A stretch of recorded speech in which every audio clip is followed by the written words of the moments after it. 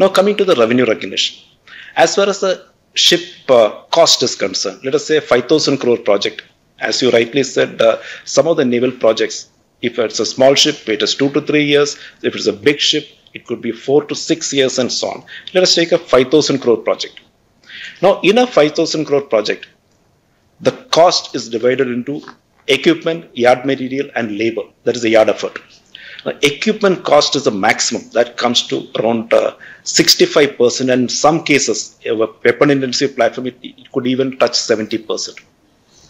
The yard material, uh, when I say yard material, that is steel, then the fasteners, the insulation, and so on, which regularly used for shipbuilding, comes to around 10 to 15 percent. The balance is a yard effort, that is the labor, the subcontract costs, and so on. Now, the initial phase, now coming back to the revenue recognition, your specific question on revenue recognition. The initial preparatory phase where the, the design activities are progressed, the equipment ordering is uh, progress, that time the revenue recognition is very, very minimal. It is only the manpower booking happens and, mm. and so on, and the design cost and so on. So we follow a typical S curve for shipbuilding with respect to revenue recognition.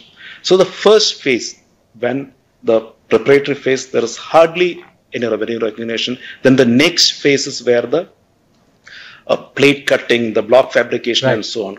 Here, effectively, only the steel goes in. Here again, the revenue recognition, it forms the next step of the S. Then comes the phase where the maximum revenue recognition happens, that is between 40 to 65% of physical progress of a ship, where the equipment get pumped onto the ship, and that is where the revenue recognition is maximum. Then goes to the when the S peters out, the last phase of the project, where the acceptance and trials go on.